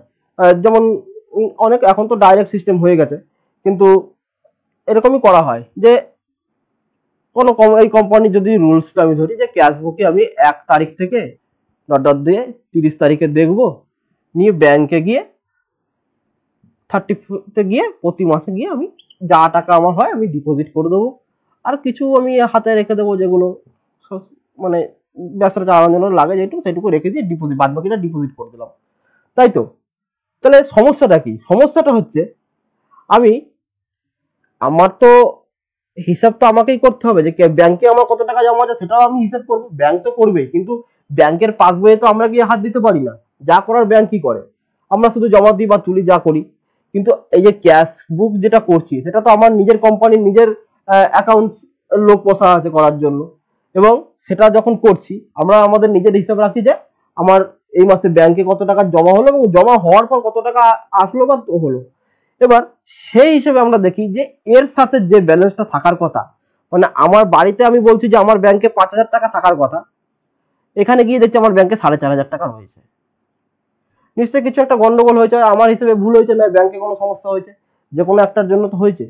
এই সিচুয়েশনটা মেটানোর জন্যই, এই যে কি জন্য হয়েছে এটা দেখার জন্য, এই বিআরএস বা ব্যাংক রিকনসিলেশন স্টেটমেন্ট বলে একটা স্টেটমেন্ট এটা কোনো অ্যাকাউন্ট না, এটা আনা হয়। এবং এনে এর কারণগুলো দেখে সেগুলো অ্যাডলেস অ্যাডলেস করে আবার ঠিক জায়গায় বা সমান ব্যালেন্স করে দেওয়া হয়। ঠিক আছে? এবার কীভাবে? যদি বলি এরকম যদি একটা পাল্লা পরে যেমন যদি ধরি একটা। এটা যদি দাড়ি পাল্লা ধরি। এই পাশে যদি আমি ক্যাশ বই ধরি আর এই পাশে আমি ব্যাংকের পাসবুক ধরি। একটা যদি একটা ক্যাশ বুক, একটা পাসবুক। এবার, যে কোনো দিকে একদিকে বেশি হয়ে যাবে উপর দিকটা, অপর দিকটা কম হয়ে যাবে। এইভাবে সমান দেখতে হবে যে কত টাকার জন্য সেটা কম বেশি হচ্ছে, সেই হিসেবে অ্যাডজাস্ট করে আমরা বসাবো। কীভাবে? যদি এরকম নিই, দুটো কলম করে দিলাম, যে যে কোনো একটাকে আমাকে ফিক্সড রাখতে হবে, যেটা আমি উপরে লিখব। যদি লিখি bank balance as per cash book আমার, এটা কিন্তু আমার হিসাব সম্পূর্ণ। ব্যাংক কিছু করছে না কিন্তু। Bank balance as per cash book এই যে ক্যাশ বুকটা লিখে দিলাম, তার মানে আমাকে ক্যাশ বুকটাকে আমাকে ফিক্সড রাখতে হবে। কারণ দুটোকে যদি আমি এট এ টাইম ওঠানামা করাই, তাহলে অ্যাডজাস্ট কি করে করব? যে কোনো একটাকে আমি ফিক্সড রেখে অপরটাকে ওঠানামা করিয়ে আমি মানে অ্যাডজাস্ট করে নেব। তাহলে কি হবে? এটার মানে না যে শুধু ক্যাশ বুক দিয়ে, যদি এটা অন্যটা করি, যে bank balance as per passbook তাহলে পাসবুকটাকে আমার ফিক্সড রেখে দেবো। পাসবুক পাসবুক যদি করি পাসবুকটাকে আমি ফিক্সড রেখে দেবো। আর এই ক্যাশ বুকটাকে ওঠানামা করাবো সেই হিসেবে মানে মিলে গিয়ে অ্যাডজাস্টমেন্ট করিয়ে নেব। তাহলেই হয়ে গেল। এবারে কারণগুলো কি কি? যে কি কি কারণে হচ্ছে না? দেখা গেল আমি একটা চেক চেক একজনকে আমার কাছে টাকা পেতো আমি দিয়ে দিয়েছি। নিয়ে আমি আমি বললাম যে আমার তাহলে ব্যাংক থেকে সে আমার দেখা গেল পাঁচ হাজার টাকা পেতো, আমি তাকে বললাম, এই নাও পাঁচ হাজার টাকার চেক তুমি তুলে নিও আমার ব্যাংকে থেকে নিজের ব্যাংক অ্যাকাউন্টে তুমি জমা করে নিও, যেটা হয়। নিয়ে সে দেখা গেল ভুলেই গেছে তুলতে। তাহলে কি করলাম? আমি মাসের তিরিশ তারিখে গিয়ে হিসেব করি। মাসের তিরিশ তারিখে যে আমার কাছে ব্যাংকের অ্যাকাউন্ট থেকে পাঁচ হাজার টাকা কমে যাবে, কারণ ওর অ্যাকাউন্টে গিয়ে চোর চলে যাবে। তাহলে পাঁচ হাজার টাকা তো আমার অ্যাকাউন্ট থেকে চলে যাওয়ার কথা। দেখা গেছে সে তোলেনি। তাহলে পাঁচ হাজার টাকার জন্য আমার অ্যাকাউন্টটা তো অলরেডি বেড়ে আছে ব্যাংকে ব্যাংকে গিয়ে যখন দেখছি যে আমার পাঁচ হাজার টাকা বেড়ে আছে। কিন্তু আমার বাড়িতে হিসাব করে কি দেখছি? পাঁচ হাজার টাকা কম থাকার কথা। থাকছে না। তার মানে কি? সমস্যাটা কিছু একটা হয়েছে। এই সমস্যাটা দেখে আমরা অ্যাডজাস্ট করব। তাহলে এখানে যদি পাসবুকটাকে যদি আমি ফিক্সড রাখি, তাহলে কি করব? ক্যাশবুকটাকে ওঠানামা করাতে হবে। তাহলে ক্যাশবুকটাকে আবার আমাকে কমিয়ে দিতে হবে। সরি ক্যাশবুকটা কমে আছে, তাহলে এখানে পাঁচ হাজার টাকা দিয়ে যোগ করব। আবার যদি কমে যায়, কম কমাবো। এই করে করে অ্যাডজাস্ট করে করে আমরা ব্যাংক রিকনসিলিয়েশন স্টেটমেন্ট করি। খুব সুন্দর করে করে দেওয়া আছে, অসুবিধা হবে না। এরপরে আসছি নেক্সট চ্যাপ্টার দুইয়ের ঘ। যেটাকে ট্রাই ব্যালেন্স বা রেওয়া মিল জিনিসটা কি একবার ভালো করে দেখবে?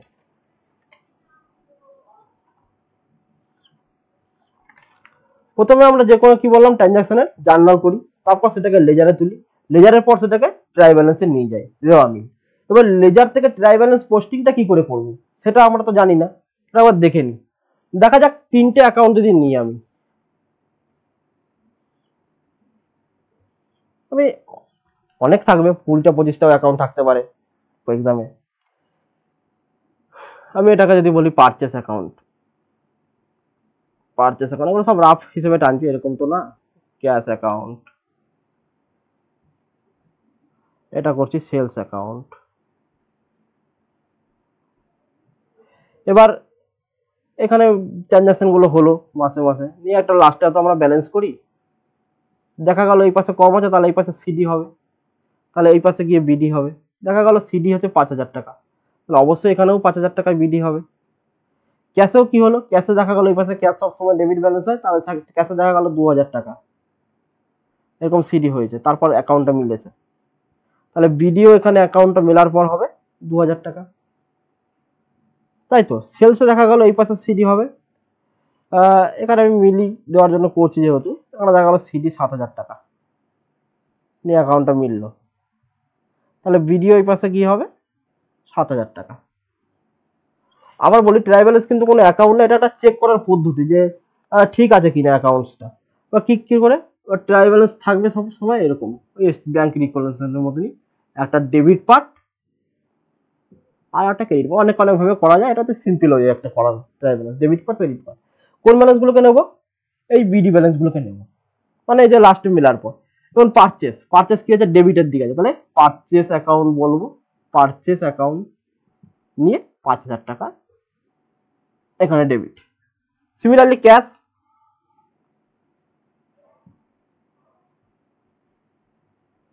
sales sales credit আছে, সাত হাজার টাকা। At the end of the সবকিছু কমপ্লিট করার পর এই দুটো অ্যাকাউন্ট মিলে যাবে। ওখানে মেলানোর জন্য করলাম, বলছি আর কি। মিলে যাবে। যদি না মেলে, তখন বুঝতে হবে যে, হয় আমার সমস্যা, আমি ভুল করেছি, নয়, এখানেই কোনো ভুল আছে। ঠিক আছে? এবার মিলে যাবে, মিলে গেলেই যে ঠিক, তাও কিন্তু বলছি না। অনেক মানে ই আছে, যেগুলো কি হয়, মিলে যায়, কিন্তু তবুও ঠিক না। সেগুলো কি কি ভুল? এই চ্যাপ্টারে দুটো জিনিসই পড়তে হবে। তার বেশি কোনো কিছু দরকার নেই। দুটো দুটো জিনিস পড়লেই হবে যে ট্রাই ব্যালেন্স কি এবং কোন কোন ধরনের ভুল ট্রাই ব্যালেন্সে ধরা পড়ে না। এই দুটো পড়লেই আশা করছি হয়ে যাবে। আর সাথে তো প্র্যাকটিক্যাল প্রবলেম দেখিয়ে দিলাম কীভাবে পোস্টিংগুলো করতে হয়। হ্যাঁ? এবার আমি আসি কোন কোন ধরনের ভুল ট্রাইব্যালেন্সে ধরা পড়ে না। ফার্স্ট খুব ইম্পর্টেন্ট ভুল যেটা হচ্ছে error of principle error of principle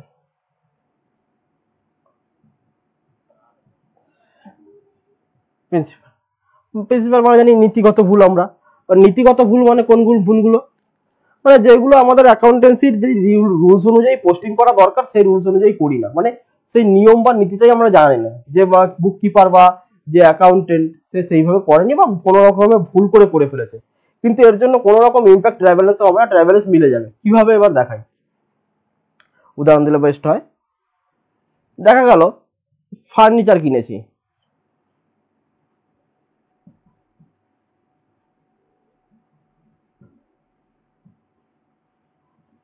পাঁচ হাজার টাকা দিয়ে ফার্নিচার কিনেছি পাঁচ হাজার টাকা দিয়ে পাঁচ হাজার টাকা ক্যাশে দিয়ে দিই তাহলে এর যে জার্নাল এন্ট্রিটা হওয়া উচিত, বা যেটা হয়, কি হবে? Furniture account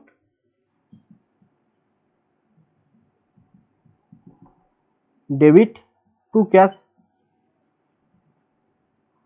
পাঁচ হাজার। পাঁচ হাজার। Furniture account debit to cash এটা হওয়া উচিত। ভুল করে আমি করছি।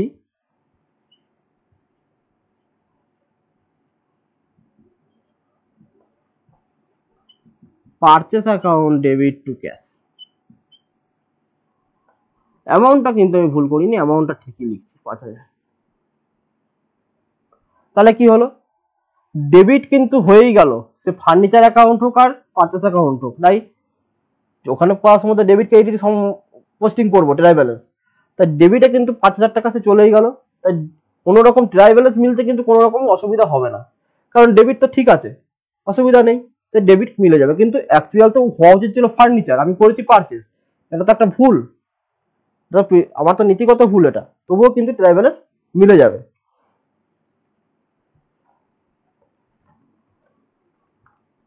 দ্বিতীয় নম্বর ভুলে আসছি, যেটাকে বলছি error of omission error of omission মানে অমিট করা মানে কি? মানে স্কিপ করে যাওয়া বা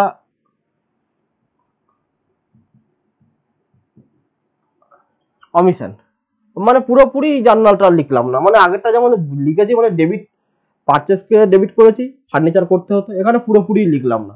মানে দুটো পক্ষই লিখলাম না। দুটো পক্ষ না লিখলে কি হবে? পুরোপুরি জার্নালটা বাদ হয়ে গেল। তার মানে দুটো কোনো দিকেই তো ইম্প্যাক্ট কিছু পড়ল না। কম বেশি লিখলে না, মিলতো না। যেহেতু গোটাটাই লিখি নাই, তা আবার সে গিয়ে মিলে যাবে। তাই তো আর একটা মেন যেটা ভুল হয়, সেটা হচ্ছে কম্পেনসেটিং রুট কম্পেনসেটিং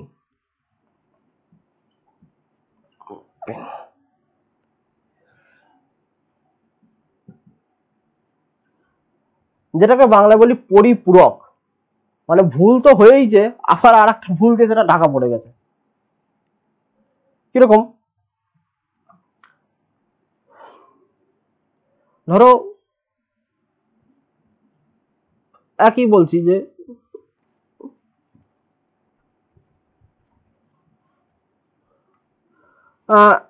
সেলস করছি। সেলস করছি রুপিস ওয়ান থাউজেন্ড ঠিক আছে? এবার লেখার সময় কি করছি আমি? Cash account debit to sales নিয়ে নাইন ফিফটি নাইন ফিফটি এটা একটা হলো। মানে এখানে তো ভুল হলোই, আবার পঞ্চাশ টাকা অন্য কোনো এন্ট্রি দিয়ে বাড়িয়ে দিলাম। তাহলে কি হলো? এই হাজার টাকাটাকে, হাজার টাকাই হয়ে গেল। সমস্যা হলো না। পরিপূরক ভুল। মানে একটা ভুল আর একটা ভুল দেওয়ার পরে পরিপূরক হয়ে যাওয়া। এই ব্যাপারটাকে বলছি পরিপূরক ভুল। এর ক্ষেত্রেও মিলে যায়।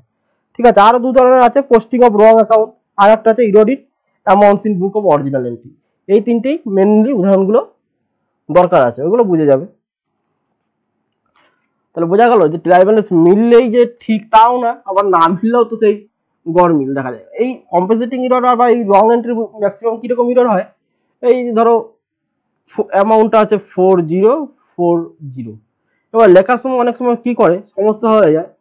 ফোর ডবল জিরো ফোর করে দেয় কেউ। কেউ আবার ফোর ফোর ডবল জিরো করে দেয়। এই এই যে ফোর এই যে গন্ডগোলগুলো এইখান থেকেই মানে বেশিরভাগ এই টাইপের ইরোরগুলোই দেখি যে হয়, যার জন্য সমস্যাটা হয়। এরপর আমরা আসছি capital expenditure and revenue expenditure এই চ্যাপ্টারেরই ক্যাপিটাল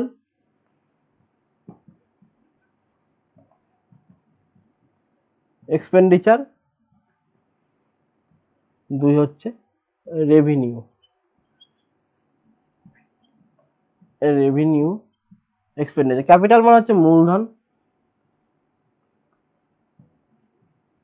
মূলধন, এটা মানে হচ্ছে মুনাফা। অনেকটা একই উচ্চারণটা। তো পার্থক্য কি? মূলধন জাতীয় খরচা। এবার কোনগুলো মূলধন জাতীয় খরচা? যেই খরচাগুলো করলে আমরা একটা লং টার্ম ইনভেস্টমেন্ট করে অ্যাসেটগুলো যেগুলো পাই। যেমন যদি বাড়ি কিনি বা কোনো জমি, জায়গা, কোনো গাড়ি বা যেমন যদি কোম্পানি যখন শুরু হচ্ছে তার মেশিনারি সেট করার জন্য মেশিনারি ফার্নিচার বা ফ্যাক্টরি যেগুলো আছে সেগুলো মানে বড় টার্ম যেগুলো। মানে অ্যামাউন্টও বড় এবং অনেক দিন বা একটা বছর তো নাই, অনেক বছর ধরে যেগুলো বেনিফিট পাবো বা বেনিফিট দেবে কোম্পানিকে সেই টাইপের এক্সপেন্ডিচার বা খরচাগুলোকে বলছি ক্যাপিটাল এক্সপেন্ডিচার আর কি কি? ক্যাপিটাল এক্সপেন্ডিচার কি করে? খুব ইম্পর্টেন্ট জিনিস। ব্যালেন্স শিট আমরা জানি ব্যালেন্স শিটের দুটো দিক। একটা হচ্ছে লাইবিলিটিস আর একটা হচ্ছে অ্যাসেটস ক্যাপিটাল এক্সপেন্ডিচার সবসময় সম্পত্তি কিন্তু নিয়ে চলে আসে প্রতিষ্ঠানে। যেভাবে হোক, তুমি নিজে কিনলেও তোমার সম্পত্তি সে আসবে। তুমি ইনভেস্ট করছ অবশ্যই অনেক টাকাই, টাকার অ্যামাউন্টটা অনেকটাই বেশি। হবে। এমনি এমনি সাধারণ অ্যামাউন্টের চেয়ে, বা মুনাফা জাতীয় অ্যামাউন্টেরগুলো, যেগুলো হয় তার চেয়ে। এবার কি হয় এই যে এক্সপেন্ডিচার করার জন্য আমার কিন্তু অ্যাসেট আছে। সে যাই কেন, যেমন মেশিনারি কিনছো ফার্নিচার কিনছো at a time investment land কিনছো, এগুলো কিন্তু সব অ্যাসেট দিকে আসবে। এবং এটা একটা বছর না, বছরের পর বছর বেনিফিট দিয়ে যাবে কিন্তু। ঠিক আছে?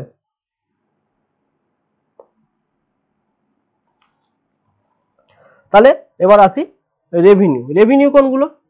যেগুলো ব্যবসা দৈনন্দিন কাজে লাগে। মানে দৈনন্দিন মানে এই যে যে কোনো পণ্য কিনলাম, পণ্য কিনে আমরা কি জন্য কিনলাম? বিক্রি করার উদ্দেশ্যেই। তাহলে এই যে এইগুলো, এই জাতীয় মানে খরচাগুলোকে বলছে রেভিনিউ যেগুলো পার ডে আমার দিতেই হবে বা লাগবেই, কারণ নাহলে তো ব্যবসা করাই যাবে না। এবং এর অ্যামাউন্টের মানে পরিমাণটা অনেকটাই কম, কারণ একটা আ টাইম ইনভেস্টমেন্ট করা আর পার ডে খরচা করার মধ্যে অনেক পার্থক্য আছে। তাই না? কিন্তু দুটোই দরকার। কারণ কেউ নতুন কোম্পানি করতে গেলে তোমার ক্যাপিটাল এক্সপেন্ডিচার করতেই হবে সেট করার জন্য। সেট হওয়ার পর কিন্তু আমাকে আবার রেভিনিউ এক্সপেন্ডিচারগুলো করতে হবে, মুনাফা জাতীয়। বোঝা গেল?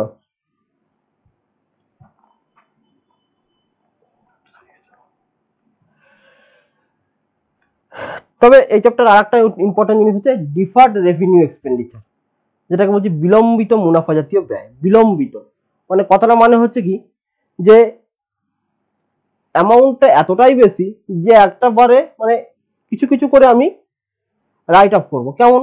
যদি কোনো অ্যাডভার্টাইজ দিই আমার কোম্পানি অ্যাডের খরচা। দেখা গেল দশ লাখ টাকা খরচা হলো আমার। দশ লাখ টাকা খরচা হলো। কিন্তু অ্যাডটা তো একটা জায়গা গিয়ে সেই পুরনো হয়ে যাবে বা শেষ হয়ে যাবে। যার কাছ থেকে কোনো রকম আমাদের আর মানে কোনো রকম নতুন কিছু উৎপন্ন হবে না বা আমাদের কাস্টমার আসবেও না। তাই ধরে নিলাম এর লাইফ হয়ে গেল টেন ইয়ার্স টেন ইয়ার্স হওয়ার পর টেন ইয়ার্স হওয়ার পর প্রতি বছর যেই একটা এক্সপেন্ডিচার আমরা ধরবো, সেটা হবে এক লাখ। দশ বছর পর তো এই অ্যাডের সবই ভ্যালু শেষ অলরেডি তাই প্রফিট অ্যান্ড লসে এক লাখ টাকা করে চার্জ করব। আর ব্যালেন্স শিটে যে অ্যাসেটটা লিখব আমরা, সেই অ্যাসেটটা এই দেখা গেল এই বছর শেষে যদি লিখি, তাহলে এক লাখ বাদ দিয়ে ন লাখ টাকা লিখব। এই টাইপের যে মানে এক্সপেন্ডিচারগুলো হচ্ছে, সেগুলো হচ্ছে আমার ডিফার্ড রেভিনিউ বা বিলম্বিত মুনাফা জাতীয়।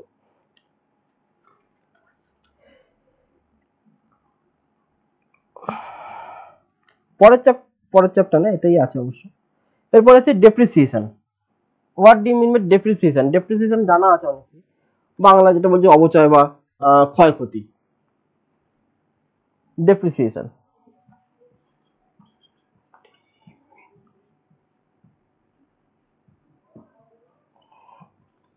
ডেপ্রিসিয়েশন অবচয় বা ক্ষয়ক্ষতি। জিনিসটা কি? অবচয়। প্রতিটা কোম্পানি তার মেশিনারি যেমন যদি নিজের বাড়ি থেকে যদি বলা যায় যে, বাড়ি কিন, আজ কিনলে বা বাড়ি তৈরি করলে, একটা বছর দেখা গেল লাইফটা পঞ্চাশ বছর পরে ওর মানে একটা ইনোভেশন কস্ট লাগবেই বা আবার নতুন করেও করতে হতে পারে লাইফটা তার। তাহলে একটা এই যে আজকে বাড়ি তৈরি করলে তার জন্য তো প্রচুর পরিমাণে উম, মানে কি বলব টাকা ক্যাপিটাল এক্সপেন্ডিচার করেছে অলরেডি তাহলে কি করা যাবে? প্রতিটা জিনিসেরই একটা ক্ষয়ক্ষতি কোম্পানি ধরে রেখেছে। যে ক্ষয়ক্ষতি হবেই। তার জন্য যেই একটা চার্জ মানে কতটা ক্ষয়ক্ষতি আমার হতে পারে সেরকম একটা চার্জ কোম্পানি তার প্রফিট থেকে সরিয়ে রাখে। এটা তো কোনো ক্যাশ এক্সপেন্ডিচার না যে ক্যাশ দিচ্ছি ক্যাশ চলে যাচ্ছে। তো একটা চার্জ কোম্পানি তো প্রতি বছর সরিয়ে রাখছে। সেটাকেই আমরা বলছি অবচয়। এবার একটা পরিমাপ করার পদ্ধতি কি? প্রতিটা এখন company act two thousand thirteen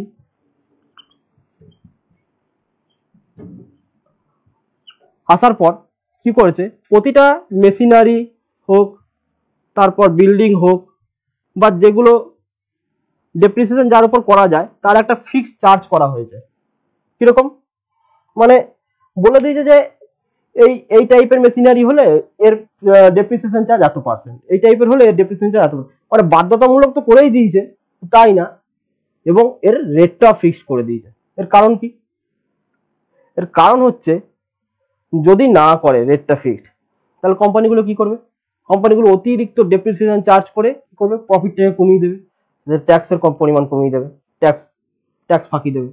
যার জন্য এটা কিন্তু করেছে। মানে রেটটা ফিক্সড করে দিচ্ছে এবং ডেপ্রিসিয়েশন বাধ্যতামূলক। ডেপ্রিসিয়েশন বাধ্যতামূলক কেন? রেটটা তো ফিক্সড করছে, আমরা বুঝতে পারলাম যে হ্যাঁ ওটা অনেক রকম অসুবিধা বা চুরি চারটামি হওয়ার জন্য বন্ধ করে করেছে।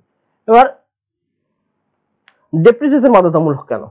ডেপ্রিসিয়েশন বাধ্যতামূলক এই কারণেই। কারণ আজকে যে মেশিনটা পাঁচ লাখ টাকা দিয়ে কিনেছি, ভবিষ্যতে এই মেশিন তো আমার আর লাগবে না, কারণ পার ডে আমার একটা টেকনোলজিক্যাল উন্নতি আমার হচ্ছেই। তাহলে কি হবে? বেশি টাকা লাগবে। আমি দেখা গেল, দশ বছর যদি এটা লাইফ হয়, এর দাম হয়ে যাবে। দশ বছর পর ধরে নিলাম এটা সাত লাখ টাকা। হলো? তাহলে কোম্পানিকে দশ বছর যখন যাবে, দশ বছর পর একটা হিউজ অ্যামাউন্ট আবার ইনভেস্ট করতে হবে। সেটা হচ্ছে সাত লাখ। এবার সমস্যা হতে পারে। সমস্যা কি? এতটা ইনভেস্টমেন্ট সমস্যা। তার চেয়ে ভালো বলছে যে, কিছু কিছু করে ডেপ্রিসিয়েশন একটা রেট ধরে তুমি তোমার, এর জন্য ক্যাশ এক্সপেন্ডিচার আমি বারবার বলছি ক্যাশ তো কাউকে দিতে হচ্ছে না নিজের কাছেই রেখে দাও। নিজের কাছে রেখে দিলে কি হবে? এটা যদি দেখা গেল যে পাঁচ লাখ টাকা আমি জমিয়ে ফেললাম, দশ বছর যদি পাঁচ লাখ টাকা জমিয়ে ফেলি, তাহলে আমার এক্সট্রা দু লাখ টাকা দিলে আমার আবার নতুন টাইপের মেশিন হয়েছে, যার ভ্যালিডিটি আবার দশ বছর। ঠিক না? তাহলে এই যে ইনভেস্টমেন্টটা যখন করব তখন অনেকটা কিন্তু কম ইনভেস্ট করতে হচ্ছে, আর আমার গায়েও কিন্তু কম লাগবে, তাই তো? এবার ডেপ্রিসিয়েশন চার্জ করার পদ্ধতি কি কি বা মেথড কি কি? মেথড হচ্ছে এখানে টোটাল যদি মেথড বলি মেথডস বা কৌশল যদি বলি, নটা থেকে এগারোটা, ততগুলো লাগবে না, মাত্র দুটো করলেই আমাদের কোর্স কমপ্লিট এক হচ্ছে state line method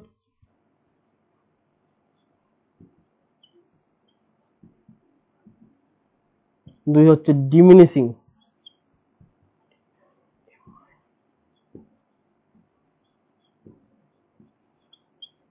diminishing state line কেন বলছে আর ডিমিনিশিং ও কেন বলছে? স্টেট লাইন মানে হচ্ছে পার ইয়ার যে ডেপ্রিসিয়েশন তো পার ইয়ার করে পার ইয়ার যে ডেপ্রিসিয়েশন চার্জ হবে, সেটা ফিক্সড থাকবে। আর ডিমিনিশিং ঠিক উল্টো। মানে ফিক্স থাকবে না, প্রতি বছর একটা রেটে কমে কমে কমে কমা। মানে ডিমিনিশিং ক্রমে কমে কমে আসবে, তাই এটা ডিমিনিশিং এবার এর উদাহরণগুলো যদি নিই আমি স্টেট লাইনটা যদি বলি, সব মুছে দিই স্টেট লাইন থেকে শুরু করি।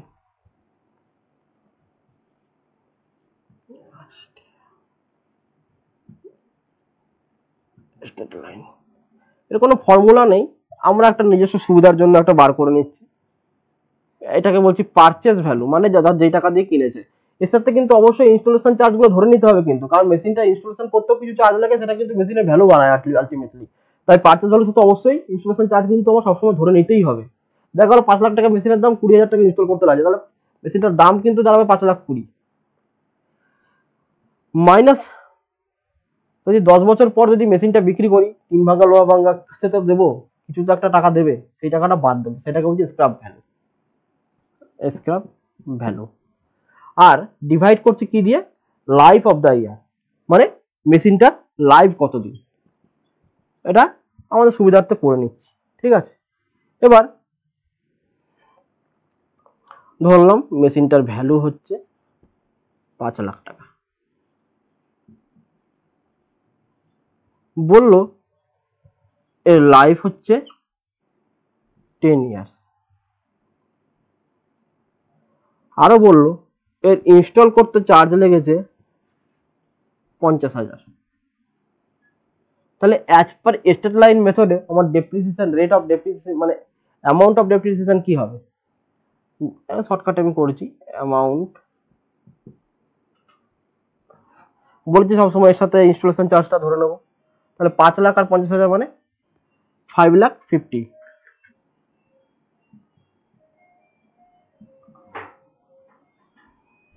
ঠিক আছে? এখানে স্ক্র্যাপ ভ্যালু বলা নেই, তাহলে বাদ দিয়ে দিলাম জিরো লাইফ কত? Ten year ten year fifty five thousand per year এটা হচ্ছে ফিক্সড বোঝা গেল?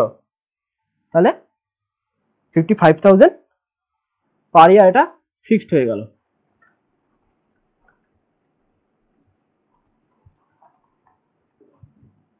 সিমিলারলি আমি যদি দেখাই ডিমিনিশিংটা কি? ডিমিনিশিংটা হচ্ছে, সে যদি সেম উদাহরণটাই নিই, যে মেশিনের ভ্যালু হচ্ছে পাঁচ লাখ টাকা। এবার, এর ক্ষেত্রে না, ইয়ার না দিয়ে রেট অফ ডেপ্রিসিয়েশন দিয়ে দিল। যে টেন পার্সেন্ট পার ইয়ার ঠিক আছে? এবার প্রতি বছর এর রেট অফ মানে ডেপ্রিসিয়েশনটা বার করতে হবে। যে কত করে ডেপ্রিসিয়েশন তাহলে একটা আমরা ফার্স্ট মেশিনারি অ্যাকাউন্ট টেনে নেব। মেশিনারি অ্যাকাউন্ট যদি আমি এটা করি, এর ভ্যালু কত? পাঁচ লাখ। ডেপ্রিসিয়েশন কত? টেন পার্সেন্ট তাহলে পঞ্চাশ হাজার টাকা হলো ডেপ্রিসিয়েশন তাহলে at the end of the year কত দাঁড়াল? সাড়ে চার লাখ। ক্লোজ করে দিলাম আমি। আবার এই ভ্যালুটা পরের বছর আমার ওপেন হলো। আবার আমার ডেপ্রিসিয়েশন হবে, তখন এই অ্যামাউন্টের উপরে। এই অ্যামাউন্টটা না কিন্তু। তাহলে সেক্ষেত্রে ডেপ্রিসিয়েশন হয়ে যাবে আমার ফর্টি ফাইভ থাউজেন্ড তো ফার্স্ট ইয়ারে ফার্স্ট ইয়ারে তাহলে ফিফটি থাউজেন্ড সেকেন্ড ইয়ারে ফর্টি ফাইভ থাউজেন্ড এই যে কমে কমে আসছে, এই কমে কমে আসার জন্য এটাকে বলছি ডিমেনিসিং বা ক্রম হ্রাসমান পদ্ধতি। এই গেল দুটো পদ্ধতি।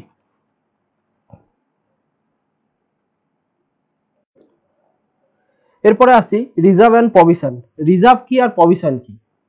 রিজার্ভ মানে বাংলা যেটা বলি আমরা সঞ্চিতি বা সঞ্চয় করা।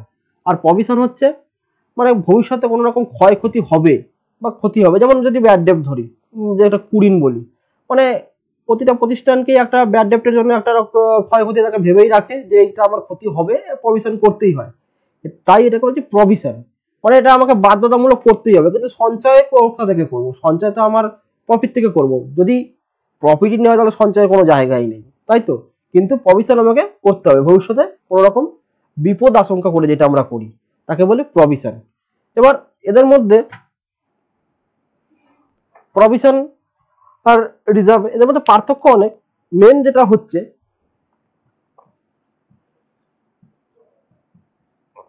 রিজার্ভ প্রভিশন ভিআই এস আই ও প্রভিশন রিজার্ভ কি করছি? এটা পার্টনারদের যদি পার্টনারশিপ ফার্ম হয় যদি, তাহলে পার্টনাররা তাদের একটা মতামত দেয় যে আমাদের প্রফিটের এত পার্সেন্ট আমাদের রিজার্ভে যাবে। তাই তো? তাহলে কি হয়? সুবিধাটা কি? সুবিধাটা হচ্ছে যখন কোনো পার্টনার চলে যাবে বা ঝামেলা হবে বা কোনো রকম সমস্যা হট করতে তাকে টাকা দিতে হবে, তখন এখান থেকে দিতে পারবে। যেহেতু কোম্পানির থেকেই তো মানে কোম্পানির প্রফিট থেকেই বা পার্টনারদের প্রফিট থেকেই তো সবার সবারই এর উপর অধিকার আছে। কিন্তু প্রভিশনের উপর কারও অধিকার নাই। কেন? এটা পুরোপুরি ক্ষয়ক্ষতির জন্য রাখা হয়েছে এবং এটা বাধ্যতামূলক করতেই হবে। বোঝা গেল? তাই এবার রিজার্ভ আবার দু ভাগে করতে পারে। যেমন ওই এক্সপেন্ডিচার রেভিনিউ আর ক্যাপিটাল তেমনি এটাও সেই রেভিনিউ রিজার্ভ আর ইভি রেভিনিউ রিজার্ভ আর একটা হচ্ছে ক্যাপিটাল রিজার্ভ জিনিসটা কি? রেভিনিউ রিজার্ভ মানে হচ্ছে কি? যেগুলো ব্যবসা স্বাভাবিক কাজকর্মের ফলে যেগুলো রিজার্ভগুলো তৈরি। মানে ব্যবসায় যেমন কি করছি? মাল কিনছি, বিক্রি করছি প্রফিট হচ্ছে। সেই প্রফিট থেকে যেরকম রিজার্ভ রাখছি রেভিনিউ রিজার্ভ বা জেনারেল রিজার্ভও বলতে পারি এগুলোকে। কিন্তু ক্যাপিটাল রিজার্ভ কি? ক্যাপিটাল এক্সট্রা কি? আলাদা কি? ক্যাপিটাল হচ্ছে, দেখা গেল, উদাহরণ দিয়ে যদি বলি, যে একটা পাঁচ লাখ টাকার সম্পত্তি আছে। পাঁচ লাখ টাকার সম্পত্তিটা তোমার দু বছর পর তার ভ্যালু গিয়ে দাঁড়াচ্ছে, যদি ডেপ্রিসিয়েট করে করে যদি দেখি তিন লাখ টাকা দাঁড়াচ্ছে। এবং কোনো রকম সমস্যা হয়েছে বলে কোম্পানি চাইছে এই অ্যাসেট মানে মেশিনটা বিক্রি করে দিতে। তিন লাখ টাকা মেশিন সেই সময় গিয়ে দাঁড়াচ্ছে দু বছর পর যে ভ্যালুটা তিন লাখ টাকা, ও বিক্রি করল চার লাখ টাকায়। তাহলে কোম্পানির লাভ হলো এই মুহূর্তে এক লাখ টাকা। তাই তো? এই এক লাখ টাকা যেটা হলো, সেখান থেকে যদি রিজার্ভ ক্রিয়েট করা হয়, সেটা বলছি ক্যাপিটাল রিজার্ভ কেন? এটা তো কোম্পানির অপারেটিং অ্যাক্টিভিটি না কোম্পানির তো অ্যাসেট মানে নিজস্ব অ্যাসেট বা মেশিনারি কেনা বিক্রি করে না। ও এটা তার সম্পত্তি কিন কোনো সমস্যার জন্য বিক্রি করছে, সেখান থেকে প্রফিট তাই এটা বলছি ক্যাপিটাল রিজার্ভ ক্যাপিটাল রিজার্ভ মানে ক্যাপিটাল গেন থেকে যে রিজার্ভ করা হচ্ছে বা ক্যাপিটাল লাভ, মূলধনী লাভ থেকে যে রকম রিজার্ভ ক্রিয়েট করছে, সেটাকে বলছি ক্যাপিটাল রিজার্ভ চার নম্বর হচ্ছে, চার নম্বর বলতে চার নম্বর চ্যাপ্টারতে আমরা চলে আসছি এবার। এটাখানে বলছি আমরা বিল অফ এক্সচেঞ্জ জিনিসটা কি?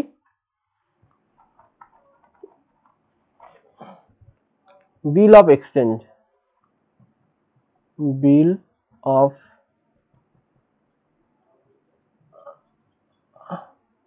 exchange. Exchange মানে দেওয়া নেওয়া আর কি ব্যাপার যেটা। এবার বিল অফ এক্সচেঞ্জ কি? বিল অফ এক্সচেঞ্জের জন্য একটা মানে যেটা ঘটনা বা যেটা গল্প যেটা বলি আর কি, সত্যিটা। ব্যাপারটা হচ্ছে, এখানে অবশ্যই দুজন ব্যক্তি থাকবে। ধরা গেল এক্স ওয়াই কে বিক্রি করছে। এক্স ওয়াই কে যে কোনো তার প্রতিষ্ঠানে যে বিক্রি করে দ্রব্য বা পণ্য বিক্রি করছে। এই আমি ধরে নিই এক হাজার টাকার মাল এক্স ওয়াই কে বিক্রি করছে। বোঝা গেল? বিক্রি করার সঙ্গে সঙ্গে ওয়াই কিন্তু টাকা দিল না। ওয়াই বলল, পরে দেবো। কিন্তু পরে দেওয়ার কি কোনো গ্যারান্টি আছে? নাও দিতে পারে ব্যাড ডেপ্ট হতে পারে। তাহলে এক্স বলল যে, এরকম তো কোনো প্রতিশ্রুতি নেই যে তুমি দেবে, তোমাকে একটা কাজ করো। আমি একটা তোমার উপর বিল লিখছি। তুমি সেই বিলটা অ্যাকসেপ্ট করো। যে বলো কতদিনে তুমি দিতে পারবে বা কি? এবার এক্স একটা বিল লিখলো। তাই এখানে পার্টিটা সৃষ্টি হলো ফার্স্ট পার্টি ড্রয়ার বা লেখক বাংলায় যাকে বলছি। এ হলো, এখানে ড্রয়ার হচ্ছে এক্স ভালো করে ড্রয়ি এখানে হচ্ছে ওয়াই হলো? তাহলে ড্রয়ার কি করছে? বিল ওর উপর লিখলো। কি মর্মে লিখলো? যে ওয়াই এক মাস পর আমাকে এক হাজার টাকা দিতে বাধ্য থাকবে বা এরকম কিছু একটা যেটা কন্ট্রাক্টের মতন হয় বিল অফ এক্সচেঞ্জ এরকম লেখা থাকবে। বোঝা গেল? এবার এক্স কি করল? এক মাস ওয়েট করবে। শুধু এক মাস না, বা আরও তিন দিন এক্সট্রা কেন? এটা ডে অফ গ্রেসি বা রেয়াতি দিন বলা হয় যে মানে আরও কোনো সমস্যার জন্য সবসময় কি ছাড় দেওয়া হয়, তিন দিন এক্সট্রা ছাড় দেওয়া হয়। মানে যা ডেট যে ডেটে ম্যাচুরিটি হবে বা ডিউ ডেট যেটাকে আমরা বলছি, তার চেয়ে এক্সট্রা তিন দিন সবসময় দেওয়া হয়, যেটাকে রেয়াতি দিন বলে। তাহলে এক্স ওর উপর একটা বিল লিখলো। বিলটা লিখলেই কিন্তু হবে না। ফার্স্ট কথা হচ্ছে বিলটা অ্যাকসেপ্ট করতে হবে। কে করবে? ওয়াই করবে। মানে ওয়াই নিজে একটা সিগনেচার করবে এই বিলের উপর। নিয়ে আবার এক্স কে পাঠিয়ে দেবে। এক্স বিলটা রেখে দেবে। রেখে দেওয়ার পর এক্স অনেক কটা কাজ করতে পারে। কি কি করতে পারে এবার? দেখি। এক নম্বর যদি বলি এক্স বিলটা রিটার্ন করতে পারে। রিটার্ন মানে হাতে ধরে রাখো।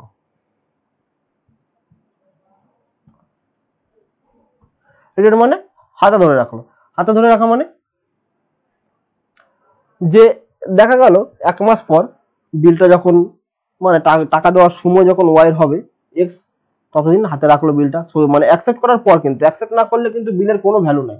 অ্যাকসেপ্ট করবে, তবেই বিলটা মানে ক্রিয়েট হলো বা অফিসিয়ালি ওর লাইসেন্স প্রাপ্ত হলো আর কি বিলটা এবার রিটার্ন করার পর ওয়াইয়ের কাছে যাবে।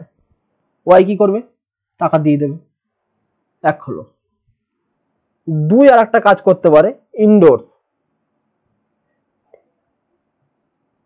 ইন্ডোর্সমেন্ট ইন্ডোর্সমেন্ট মানে হস্তান্তর যেটাকে বলছি আর কি। এক্স যেমন ওয়াই এর কাছে টাকা পায় এক্সের কাছেও তো কেউ টাকা পেতে পারে। দেখা গেল এক্সের কাছেও একজন হাজার টাকা পায়। ধরে নিলাম জেড জেড হাজার টাকা পায়। তাহলে এক্স কি করল? এই বিলটি নিয়ে জেডকে দিয়ে দিল। হলো? টাকা টাকা শেষ হয়ে গেল। সেটাকে বলে ইন্ডোর্সমেন্ট আর একটা কাজ করতে পারে। Bank sorry